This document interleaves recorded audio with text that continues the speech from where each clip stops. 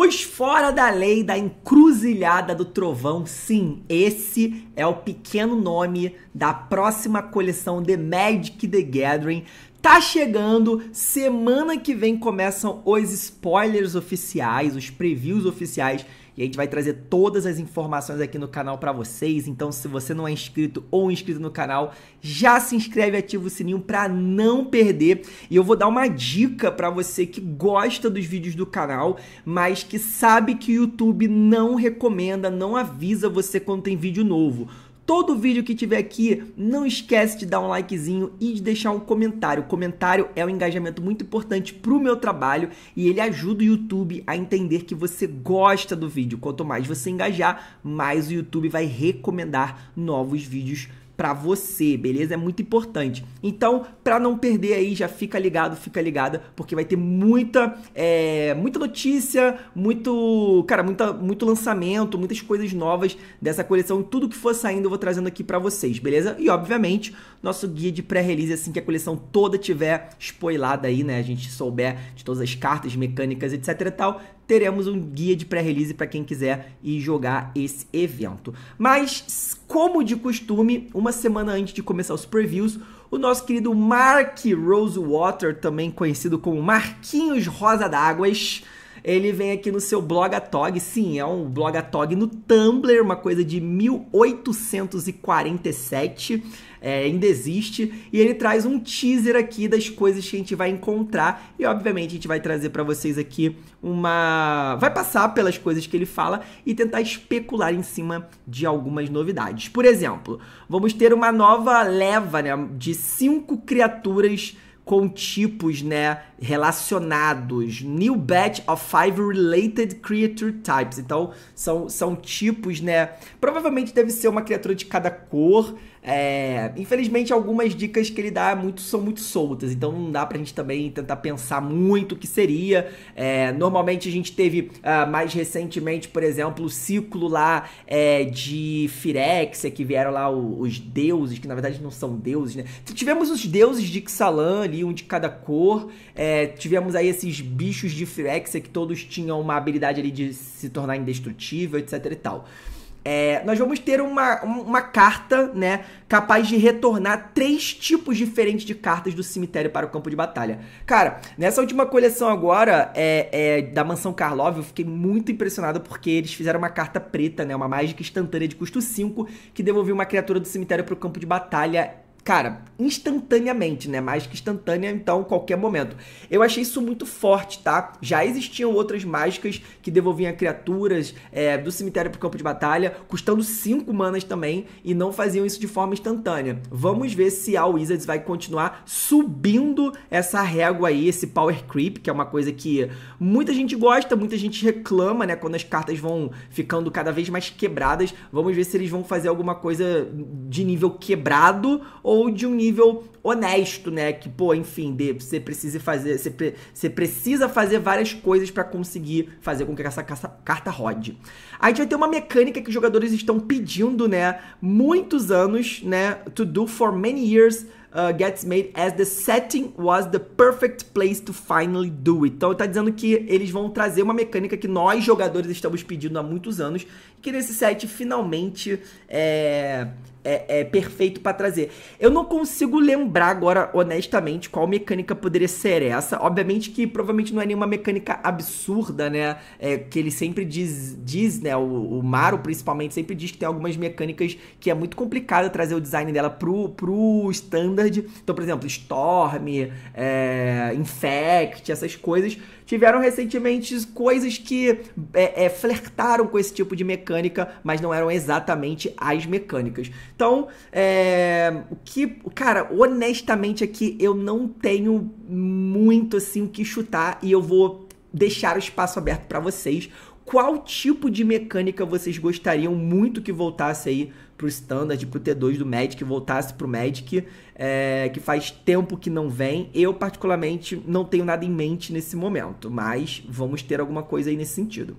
A gente vai ter dual lands, né? Dual, o que são dual lands? São terrenos que geram duas manas. Na verdade, não que geram duas manas, que podem gerar uma mana de duas cores diferentes, né? Então, é... só que ele vai ter um subtipo que nunca foi, né, printado, nunca foi lançado em uma Dual Lente antes. Eu chuto que seja deserto, tá? E, inclusive, no no, no vazamento que a gente teve dessa coleção, se você não se importa em ver vazamento, tem um vídeo aqui mostrando, né? Uma pessoa já abriu um kit de pré-release e postou algumas fotos no Reddit. Tem vídeo aqui analisando, falando sobre isso. Se você não se importa, dá uma olhadinha lá depois, se você ainda não viu. É... A gente já sabe que vai ter deserto nessa coleção. Deserto é algo que até não é incomum, veio. Porque eu me lembro que veio em Amonkhet, teve deserto. Em outras coleções, outros planos que a gente tem, algum cenário desértico tem esse tipo tipo aí, subtipo, na verdade, de terreno. Então, provavelmente a gente vai ter alguns desertos que vão gerar mana de duas cores. Eu chuto que, como a gente teve as lands agora de, de, de evidência, não, de vigiar, né, que você pode botar do topo no cemitério, eu chuto que não serão terrenos raros. Eu chuto, tá? Mas não não não tenho tanta certeza nesse chute, não. Diria uns 60% assim de certeza que serão terrenos incomuns. Raros, talvez é, é uma possibilidade também, né? Mas enfim. A gente vai ter uma nova mecânica modal, tá? Que introduz alguma uma coisa diferente para se pensar sobre.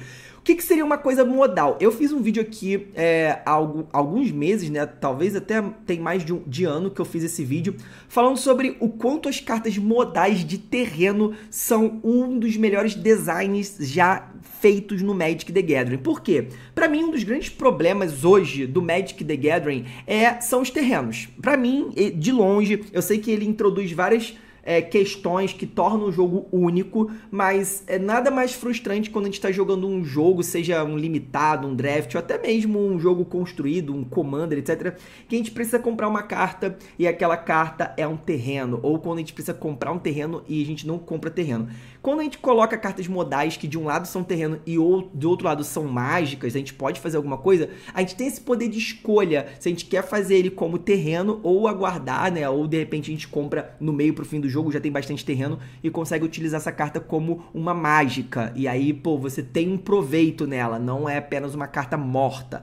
E aqui a gente vai ter uma nova mecânica desse sentido que faz a gente pensar diferente. A gente já teve alguns também, por exemplo, de um lado era criatura, do outro era feitiço, e aí você só podia castar um ou outro. Ali em Strixhaven a gente teve isso. Estou curioso para saber o que, que, vem por aí. Espero que seja uma coisa que adicione positivamente ao design, né, ao, ao gameplay do Magic. Uma carta que pode trocar, tá? É, controle de até três tipos diferentes de carta. Interessante, sempre penso nesse tipo de carta como sendo cartas azuis, né? Normalmente as cartas que trocam, né, roubam cartas aí é, permanentes, principalmente, normalmente são cartas azuis, provavelmente deve ser alguma coisa desse tipo. Um novo, uma nova criatura token, né, uma ficha de criatura que tem habilidade, has an ability, nenhuma criatura token nunca teve antes. Caraca, aqui é difícil, né? Então não deve ser uma habilidade simples, não deve ser atropelar, voar, iniciativa, ímpeto, não deve ser nada disso. Deve ser alguma coisa realmente bem, cara, diferenciada. Será que eles vão trazer uma porque olha só, aqui vai um chute, tá? Eles pelo que eu tô percebendo, eles estão tentando manter alguns mínimos, é, é, alguma mínima ligação entre os sets ultimamente com é, mesmas mecânicas. Então, por exemplo, a gente tem a mecânica do tóxico. Ela foi muito forte em Phyrexia, Obi-Wan, é, enfim, na, nas coleções antes e depois. E nessa última coleção de Karlov tinha uma carta que fazia o oponente ganhar tóxico, né? Então, será que a gente vai ter uma criatura que tem habilidade tóxico? Talvez. Se bem que. Se bem que tem fichas. Né, tem fichas com tóxico, então não é isso. Mas, enfim, é, é isso, joguei aqui porque eu acho que vai ter. Eu, eu acho que tem que conversar com as coleções que foram lançadas no, pelo menos no último ano, espero, né? E a gente vai ter uma carta tipal para esqueletos e zumbis. Eu tenho percebido também que a Wizards tem lançado muito assim, é, é avulso, é, cartas de esqueleto e de zumbis, para deck de esqueleto e de zumbi que tem essa sinergia. Zumbis é, é, é, é, um tipo de criatura que eu, eu acho, eu considero é, é uma criatura bem famosa, bem querida, né, dentro do mundo do Magic, dentro da, da, da comunidade. Muitos jogadores, jogadoras têm decks de zumbis, commander de zumbi, etc e tal. Já saiu pré pré-con de zumbi. Então eu imagino que é, essa, essa carta vai adicionar bastante para quem já joga de zumbis, mas tem esse upside de ter os esqueletos também. No Magic também temos muitos esqueletos, mas a gente nunca viu um deck pré-com, por exemplo, de esqueletos especificamente. Então talvez vá surgindo aí cada vez mais oportunidades de ter cartas com, né, com boas, boas jogabilidade para se montar um deck tipal de esqueletos. Vamos ver se esse vai ser o caso, tá? E as, e as criaturas tokens no set, tá? Algumas podem ter habilidade.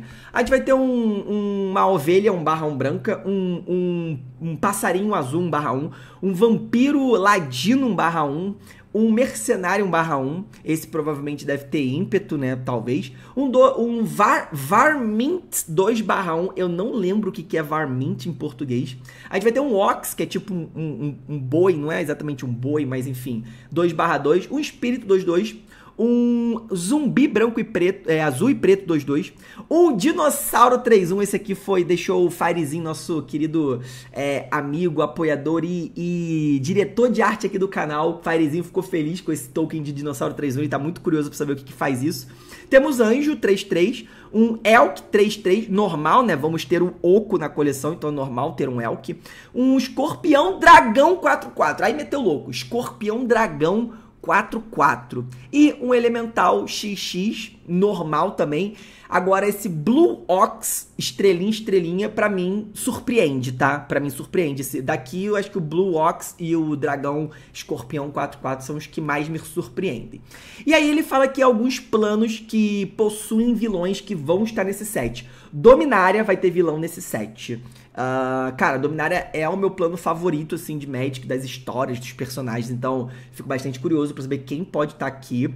Eldraine, recentemente, né, tivemos em Eldraine, então não é muito difícil. Vai ter o Oco, não sei se eles consideram o Oco se vai... Eu acho que sim, né, acho que consideram o Oco como vilão, né, não sei se vai ter outro. Fiora eu não sei se a se a Marquesa é uma vilã, não manjo da lore de Fiora, se você manja, deixa nos comentários. E então, Nistrad nós temos vampiros, demônios. Eu acho que aqui pode ser o não, o Cambal, o Cambal não é de Nistrad. Viajei pra caramba agora. Eu sei que tem o Cambal nessa coleção por causa do, do, do, vazamento. Mas eu acho que ele não é de Nistrad, não. Eu tô viajando. É, não sei quem que pode estar tá aqui de Nistrad. Vamos ter de Ixalan, né? É, enfim, eu sei que vai estar tá o, o, Acho que é o Malcolm ou. vai ter um, um pirata de Ixalan, porque eu também já vi em algum lugar, mas também não sei se ele é considerado vilão. Teremos vilão de Kaladesh, esse provavelmente vai ser o Gont, tá? Ele inclusive tá estampando ali a capa do, do Commander, do pré-com dessa coleção. Kaldheim, também não, não, não sei muito o que pensar, não é uma coleção também que eu, que eu manjava muito assim da lore. Kamigawa, Kamigawa, um vilão de Kamigawa. Quem será que pode estar tá aqui, mano? Pode ser tantas opções. Nilcapenas, é, Nilcapenas, será que teremos... Eu não acho que o Obnixilis é um vilão de Nilcapena especificamente. Será? Então será que ele pode ser um daqueles lords lá, os líderes da, da das guildas de Capena? Não é, o nome não é guilda, né? Mas enfim. E, por fim, teremos vilão de Ravnica também. Faz todo sentido, já que a gente acabou de chegar de lá, né? E aí algumas, alguns textos, né, de regras que vão aparecer nas cartas. Re aí, aí, repita esse processo X mais vezes. Nossa, sempre quando tem mágica com X é um perigo. Se for uma carta preta, azul ou verde, ou uma combinação dessas três cores, possivelmente pode entrar no meu deck de Journey de Big Spells. Vamos ver se tem alguma coisa nesse sentido para dar uma melhorada no meu deck. Se, for, se não foi conjurada, ou nenhuma mana foi gasta para castar. Provavelmente deve ser alguma coisa que anula. Normalmente, quando tem um texto nesse sentido, é uma carta branca que dá uma taxada, ou branco e azul, que você, né, anula se não foi conjurada ou se nenhuma mana foi gasta para conjurar ela. E aí temos o Plotting Cards from Your Hand costs 2 less. Plotting é a nova mecânica, uma das novas mecânicas. Assim que a gente tiver a tradução, a explicação certinha dessa mecânica, vou trazer para vocês, beleza?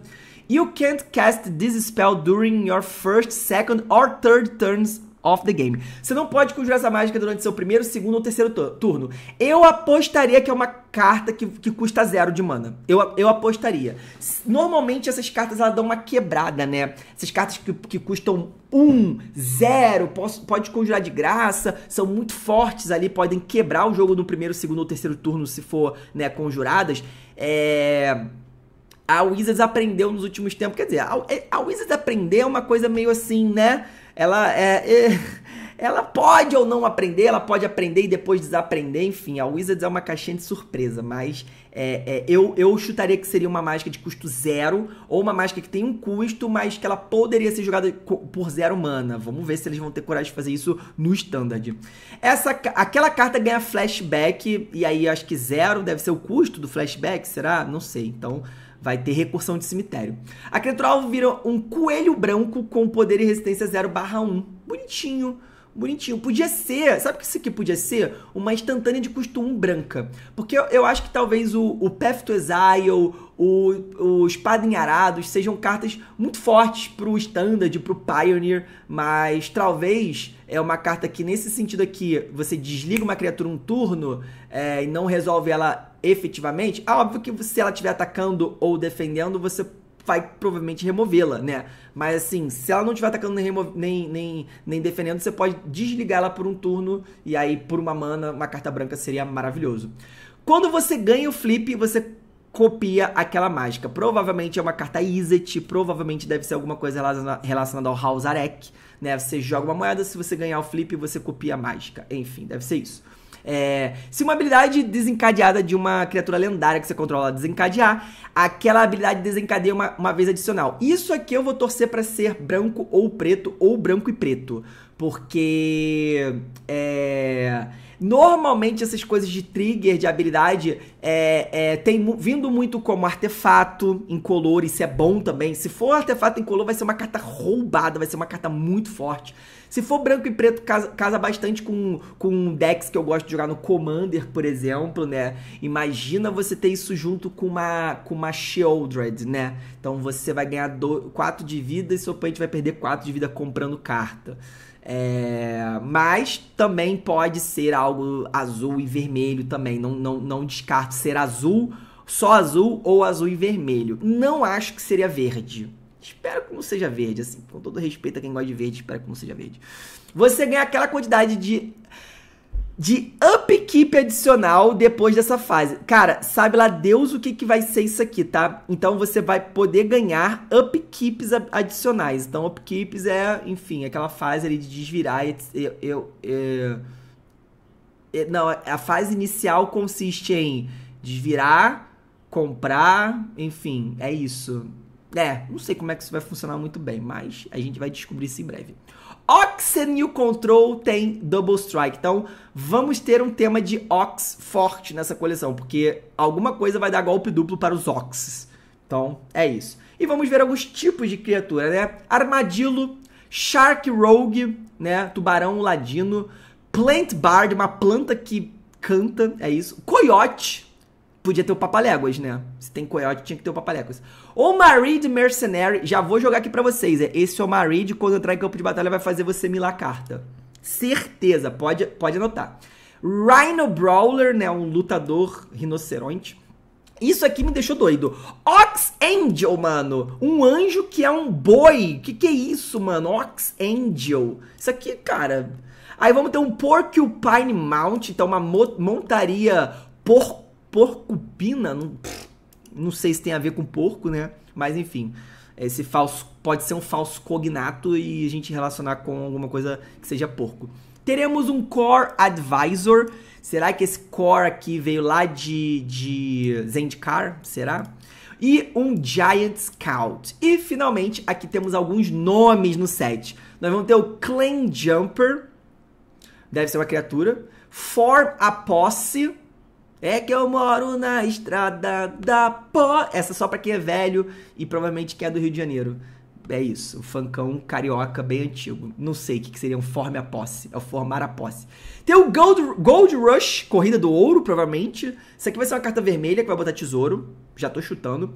Great Train Haste, né? O, o saque, o grande saque ao trem, né? Ou Saque do Grande Trem, não sei, enfim. Isso aqui me lembra aqueles primeiros filmes de, né, o... Enfim, os primeiros filmes aí que foram feitos na história da humanidade. É, Rainun, né? Rainun seria... Uh, Num é, é, é, noite, ser tipo noite, assim, não sei, eu esqueci o que pode o que, qual que é a, a, tradução exata de Num, mas alta noite, não sei. Quick Draw, isso aqui é, pode ser azul, provavelmente também. Quick Draw, uma compra rápida. Reach for the Sky, alcançar o céu, isso aqui pode ser verde, da, alcance, talvez. Resilient Roadrunner, também me parece ser nome de criatura, tá? E criatura chata, vermelha com ímpeto. Shoot the Sheriff. Gente, se isso aqui não tiver um personagem, né, uma ilustração com um personagem de dread aqui representando, fazendo, fazendo uma homenagem ao Bob Marley, né? The Sheriff.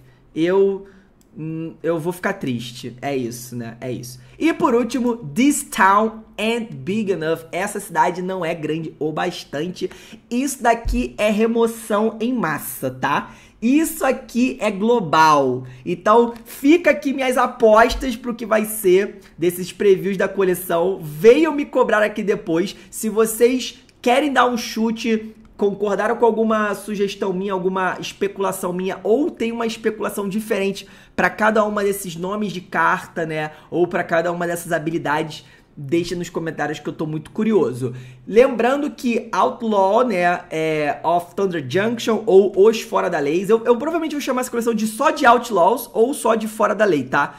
Ela vai começar o preview na terça-feira que vem. É... Vamos acompanhar aqui de perto tudo que estiver rolando durante é, essas próximas semanas, trazendo para vocês novidades, notícias, tudo de perto para vocês não perderem nada dessa nova coleção e se prepararem bem pro pré-release, beleza? Então é isso, espero que vocês tenham se divertido com esse vídeo, espero que tenha servido de entretenimento e informação para vocês. Se vocês curtiram, dá o likezão, não esquece do comentário para me ajudar no engajamento e pro YouTube entender que você gosta dos meus vídeos e quer assistir mais, quer receber mais vídeos. E se não é inscrito ou inscrito no canal, se inscreve aí. Nossa próxima meta agora é bater 25 mil inscritos. Vamos ver se a gente consegue bater isso até metade do ano. É difícil? É difícil, mas eu acredito em vocês. Com a força da comunidade, a gente chega lá. Tamo junto, beijo no seu coração e até a próxima. Valeu!